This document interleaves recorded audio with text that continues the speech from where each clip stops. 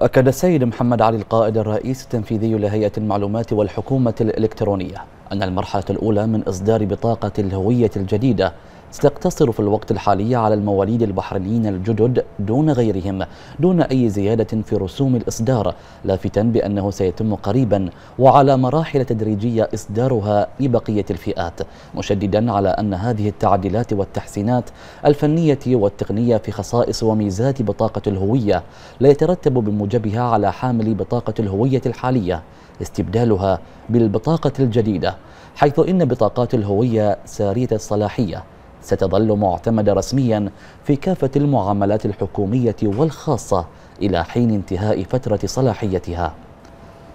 وأكد القائد أن الإصدار الجديد من بطاقة الهوية روعي فيه أحدث التقنيات العالمية وتوافقه مع المعايير الدولية فضلا عن الكفاءة والجودة ومقوماتها للتلف كما ضمت العديد من الميزات المتطورة لضمان توفير الحماية الشاملة لبيانات حامليها يصعب من خلالها التلاعب أو العبث بمحتويات شريحتها الإلكترونية كما يتيح إضافة المزيد من الخدمات وتطبيقها الإلكتروني عليها لاحقاً.